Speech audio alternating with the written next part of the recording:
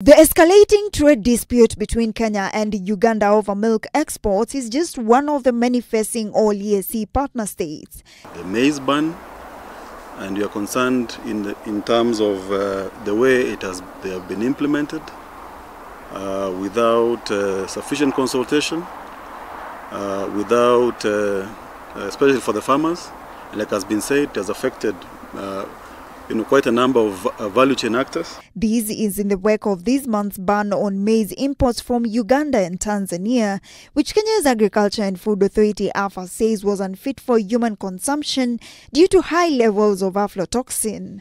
According to East Africa Farmers Federation Group CEO Stephen Muchiri, Uganda's Pearl Dairy had to lay off at least 1,500 employees when Kenya slapped Uganda with a milk ban. Pearl Dairy that sells Lato milk into this country uh, just uh, released 1,500 employees, impacting over 8,000 people in Uganda, and they are all selling to this particular market. And uh, you know, this for us is a, is a big concern uh, because it goes against um, the treaty, the East Africa Community Treaty. President of the Pan Africa Farmers Organization, PAFO Elizabeth Nsimadala, says there is need for the government to review regulations governing the ESC community. when we should be having a free market where you know we are all competitive.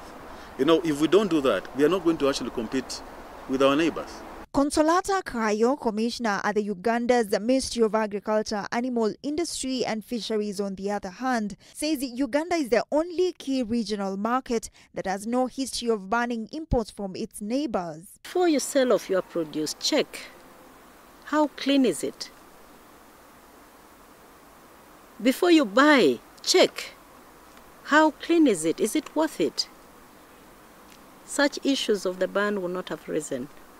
We are mobilizing our small scale farmers to be business business like it is it is a, a unique opportunity to to other players especially the, the banks Uganda exports at least 90% of its maize to Kenya with a cumulative average of over 300,000 tons.